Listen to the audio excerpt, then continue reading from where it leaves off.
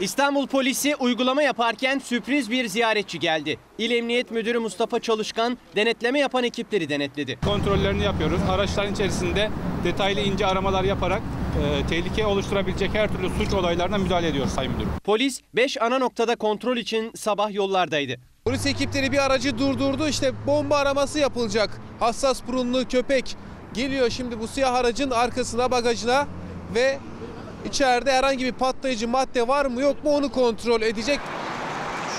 Araçta bomba araması yapıldı ancak herhangi bir patlayıcı maddeye ulaşılmadı. Şimdi de narkotik köpeğini görüyorsunuz. O da aracın lastiklerinde içinde dışında arama yapıyor.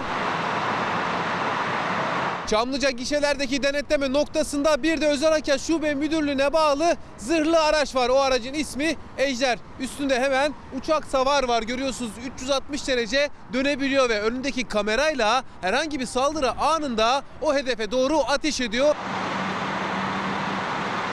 Çamlıca gişelerinde uygulama yapılırken İl Emniyet Müdürü Mustafa Çalışkan geldi. Bizim şehrin girişinde 5 ayrı noktada bu tür uygulamalarımız var.